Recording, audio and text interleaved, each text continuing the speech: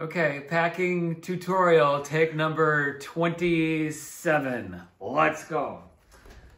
All right. Now, we had to do a quick readjustment on the packing list because uh, it's going to be a little bit cooler than initially anticipated. Um, it should be in the 40s when we arrive in Athens. Um, by the time Monday rolls around, um, it should be up in the 50s again. But I think it might be cooler this time. So I rearranged kind of what I thought you guys might want to think about bringing, um, and I kind of laid it out this way. Okay, so given the cooler weather, two shorts are sufficient. Dos. Now, over in the shirt area, I brought one wool sweater, and then two lightweight sweaters, and then five t-shirts. I like to do lots of layering so you can take off the clothes um, as it gets hotter. And we're going to find that it's going to be cooler in the morning when you get up. Um, and it's going to be nice and warm by the time we get to the afternoon so you won't need everything. But one good wool sweater um, to bring along I think is going to be a good idea this time. Two small layering sweaters. Um, and then I brought one dress shirt uh, for going out to a fancy dinner. Um, and that's going to be super fun. And then I brought some casual shirts, light cotton, um, linen. Um, and I brought um, four of those.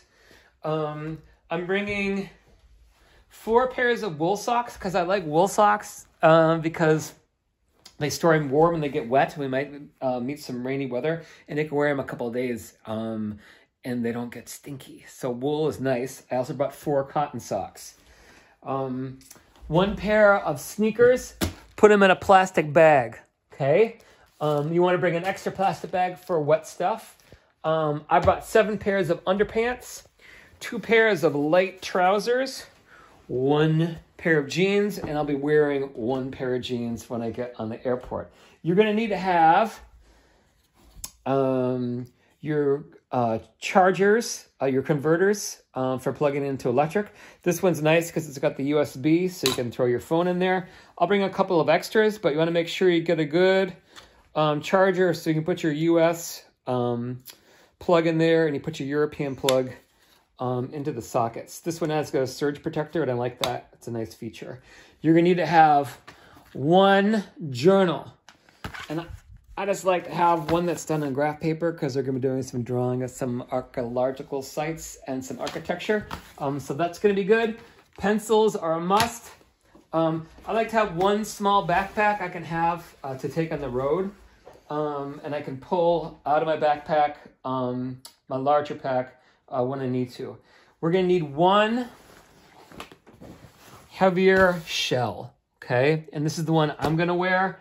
Um, it's it's uh, thick uh, cotton canvas. It's pretty water repellent. Um, and I think it's going to do fine uh, against the elements we're going to be encountering.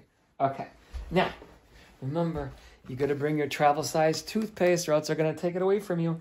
I also brought band-aids, antiseptic wipes, um, and then uh, this is um, a little bit of bacitracin in case you get any cuts.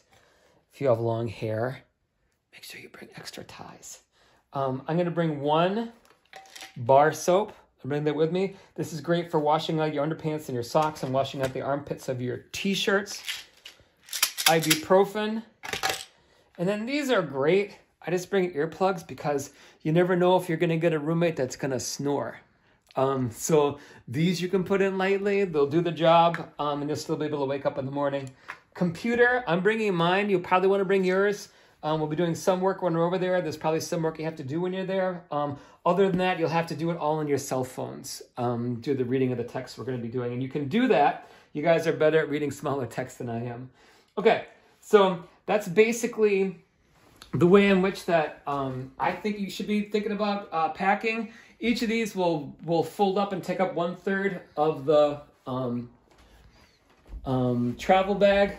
And then um, we'll have uh, plenty of stuff to take with us so that we can adapt to the different changing uh, weather we're going to encounter. It's gonna be a little cooler at first, we'll spend a lot more time eating delicious food, and then it's gonna warm up as we get into that uh, second week. Okay, so um, I'll wrap this up, and I'll, uh, just to show you that it can be done, I'll recut to this scene um, with the bag packed, okay?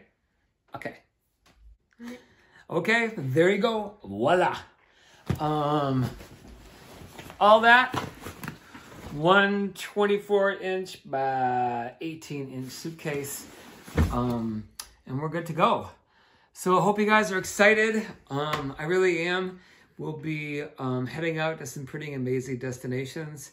And I got um, some backup plans if it's a little bit rainy for the first couple days. Um, but that's it. Um, we'll see you guys on Tuesday. And, um, oh, remember to bring a small, compact umbrella. That's my last bit of advice. Okay, see you later.